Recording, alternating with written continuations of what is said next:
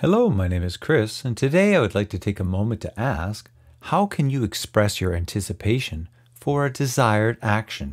The primary purpose of business emails is to motivate your readers to take action based on the information that you provided. That action, however, may not be immediate, and in some cases, it may not occur at all. As such, it's imperative that you let the reader of the email know that you're looking forward to the desired action.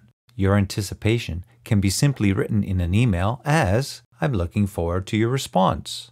If you want to express confidence in your proposed action, you could write, I'm looking forward to your positive response. If the desired action is time sensitive, it's best to give a time frame. For example, please let me know your decision before, or it would be really helpful to hear back from you by Taking action, however, many times is not straightforward as it might seem. Your reader might need further information to make an informed decision. As such, you should always offer your support at the end of the email. For example, please don't hesitate to contact me if you require any further information or assistance on this matter.